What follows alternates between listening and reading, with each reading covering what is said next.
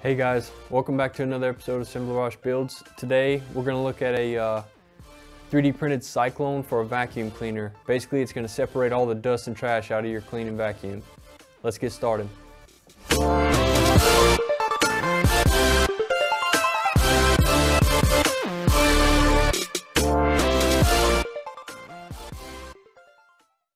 Alright guys, so here's the cyclone that I'm talking about. Um, basically this is a dust separator system that will prevent any kind of trash from getting into your vacuum. Your shop vac filters will last much longer and it's a lot easier to clean this thing than it is to clean out a shop vac. So what I'd like to do today is show you the printed piece but also do a demonstration on the amount of dust and trash that actually gets separated when you're vacuuming up. It's 99% of the trash will get separated. So your vacuum will last much longer and it's a lot less work to clean it.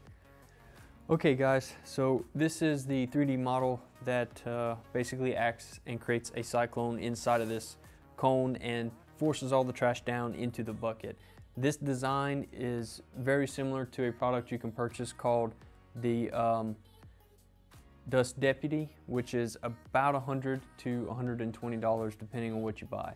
Uh, the beauty of this one is it's a very simple design, but it works really great.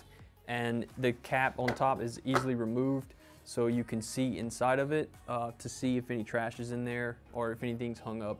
Um, the 3D model will be available on Thingiverse. I will upload it to Thingiverse so that everybody can access it.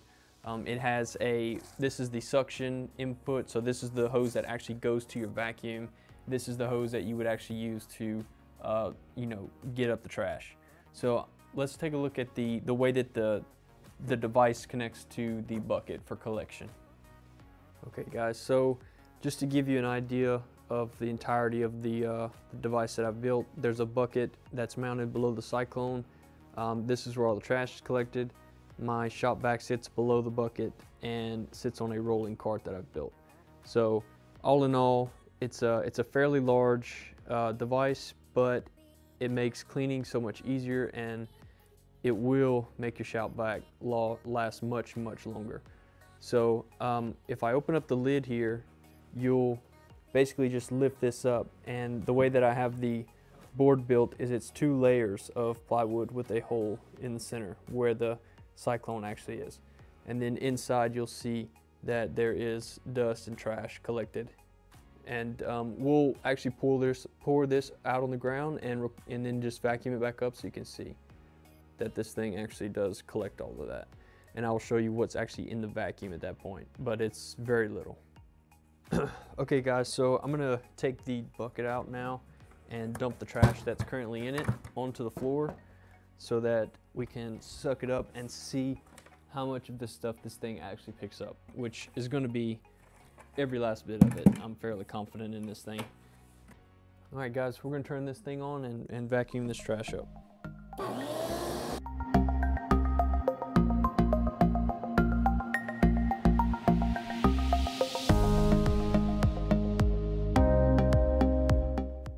Okay guys, um, we vacuumed up the trash, so we're gonna take the bucket off the system and look at it and see how much of it we collected, and then I'll also pull the vac vacuum up and we'll open it up to see if any of it got in there. So let's go ahead and take this thing off.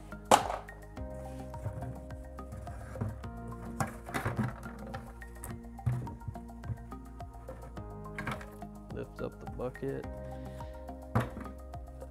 me uh, let me move the camera so you guys can see what's in it. Okay guys, so as you can see, the bucket has a lot of trash in it. Um, I'd say that that is the majority, if not all, of the trash that was in on the ground.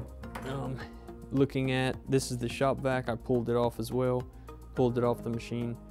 Um, the shop vac is, well, as you can see, almost completely empty. There's like some fine, fine dust in there, but that's sort of to be expected. But as far as trash, it's, it's pretty much clean.